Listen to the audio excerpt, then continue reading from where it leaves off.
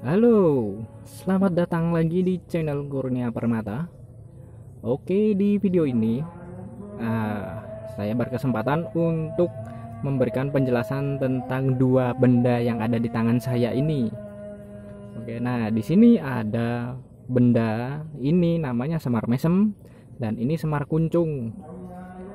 Banyak orang yang mengatakan kalau benda ini benda bertuah atau benda sakti benda yang bisa digunakan untuk memikat lawan jenis ataupun untuk sebuah pelarisan. Jika eh, kalian yang punya usaha ingin tambah laris mungkin orang-orang ada yang menyarankan coba pakai pegangan semar mesem atau semar kuncung. Nah nah di sini saya tidak akan eh, apa membeberkan tentang rahasia atau khasiat dari ini enggak. Tapi di sini saya cuma mau mereview bahwa uh, semar kuncung ini sama semar mesem ini terbuat dari bahan besi kuning ya. Ini buatan manusia jadi uh, bukan buatan bukan buatan ya maksudnya. Bukan tarikan atau hasil dari alam itu enggak atau dari alam goib itu enggak. Jadi ini e, buatan manusia ini cetakan ini juga cetakan cetakan cetakan semua. Bukan mungkin banyak orang yang ini tarikan asli dari alam atau tarikan asli dari alam gaib. Itu enggak. Masa iya di alam gaib ada pengrajin keris seperti ini? Ya nah di sini di sini saya menjual souvenir souvenir. Kalau saya menamakan produk seperti ini di toko saya itu dengan nama souvenir ya.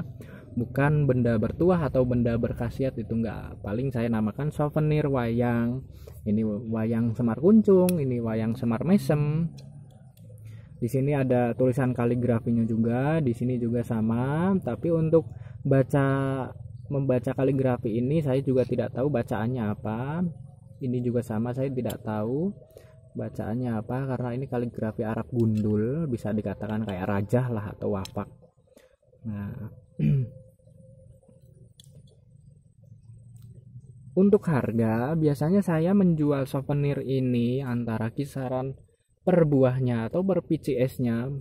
Maksudnya eh, per satu barangnya ini bisa saya harga biasa saya kasih harga 25.000 ke atas. Kalau hanya satu mungkin 25.000, tapi kalau mungkin eh, bisa saya kasih bonus minyak kayak minyak jafaron, minyak misik, minyak seribu bunga atau minyak yang lainnya eh, biasa satu paket itu saya beri harga kisaran 35 sampai 50 tergantung isi dari minyak itu sendiri.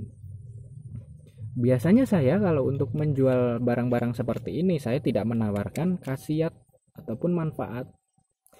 Jikapun ada khasiat ataupun manfaatnya setelah membeli barang ini, memahar barang ini, itu di luar dugaan atau eh, tanggung jawab saya. Jikapun ada yaitu bonus. Saya hanya menjual barangnya ini saja tidak menjual khasiat. Saya tidak eh, mengatakan ini akan membuat kamu menjadi dicintai banyak orang. Tidak saya tidak pernah seperti itu tidak pernah bilang seperti itu. Ini bisa membuat dagangan kamu laris. Enggak tidak seperti itu. Jadi ini hanya barang barang biasa ya barang biasa souvenir bagi sebagian orang juga mungkin ini eh, dijadikan sebuah koleksi pegangan. Maksudnya pegangan itu ya koleksi lah. Karena benda antik jarang ditemui ya sama orang-orang gitu. Nah, seperti itu. Mungkin cukup sekian di video kali saya di video kali ini.